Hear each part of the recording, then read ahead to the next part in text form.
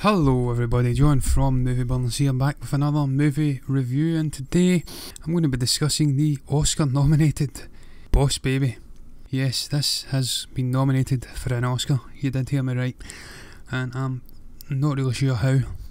Not that it's a bad film, because it's not. Of course directed by Tom McGrath, it's a visually alluring experience that, for me at least, doesn't have a very captivating story in it fell disappointingly short on laughs as well. It features a pretty excellent cast, spearheaded of course by Alec Baldwin and Tobey Maguire, and it essentially evolves around sharing the love if you'd like. Oh, how the Beatles would be proud. And uh, also a seven year old with an overactive imagination who takes rather serious umbrage at his upstart newborn brother, disrupting his peaceful existence. And uh, that's really how things start out in this one. Much of this film is narrated and uh, shown through the perspective of Tim, played by Tobey Maguire, and McGrath conveys very early on to the viewer just how unreliable a narrator he really is. As a young boy gushes about his fantastical adventures with his family, the world around him literally changes to reflect the fanciful happenings he's describing. And so when the newborn Boss Baby, if you'd like, played by Alec Baldwin, enters into the fray, literally walking up the driveway in a remarkably well fitted suit and clutching a briefcase. It's fair to say the young Tim is perhaps projecting his imagination onto the proceedings to explain the situation, as uh, prior to this there is a brief glimpse of his mother's baby bump. Um, Tim isn't best pleased with the new arrival, I think it's fair to say, who has a short, visually appetising scene up in the heavens of Baby Corp, uh, slipping and sliding through a gleaming assembly line for newborns before landing into a sprawling office. Uh, the general gist of the wider story is that Tim is upset with having to share his parents' attention whilst his baby brother goads him with his hidden intelligence way beyond his years. Uh, he's been sent down on a secret mission by Baby Corp to garner as much information on a new breed of puppy that threatens to upset the love attention equilibrium between children, pets, and parents alike. Uh, what falls is a, a real battle of the wills between the two, with Tim doing everything in his power to rumble the talking baby 007, though failing miserably, it has to be said. Now, I'll admit there was one particular chase scene involving a squad of babies around this point that actually was quite good and was one of the better moments in the film for me. Eventually, the two form a grudging alliance in the face of the new Puppy Co threat, but mainly because Boss Baby tells Tim that he'll leave him to his paradisical only child existence again afterwards if they succeed. And uh, the film transforms into a classic sort of a mismatched buddy style, with the pair falling into the CEO of Puppy Co.'s dastardly trap during a take the kids to work day.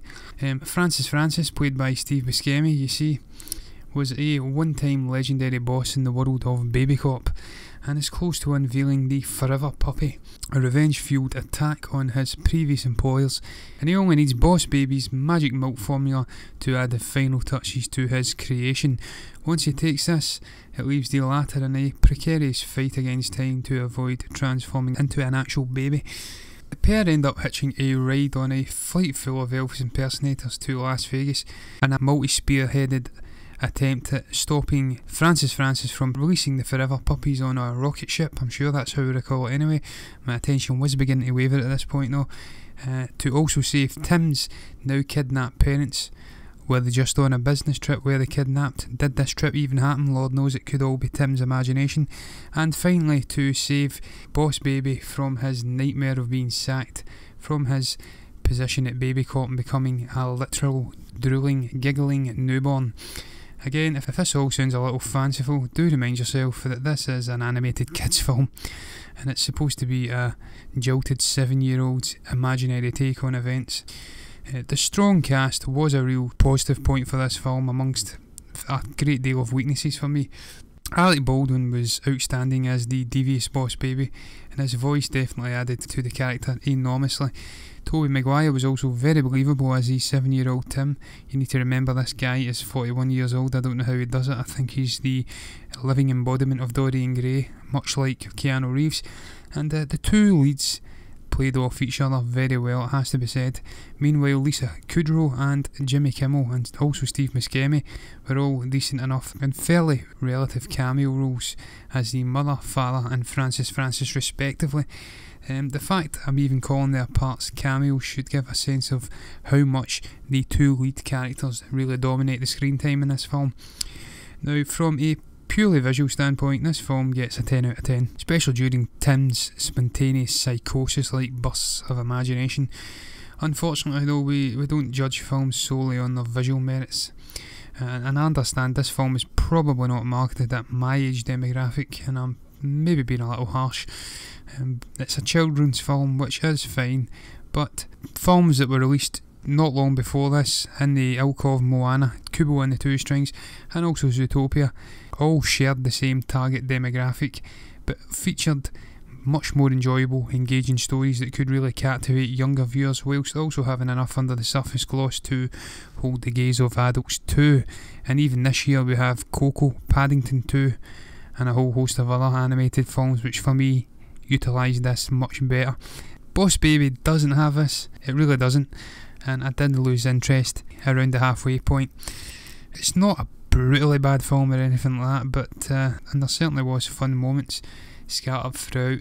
But I'd really only recommend this to families or people with young kids.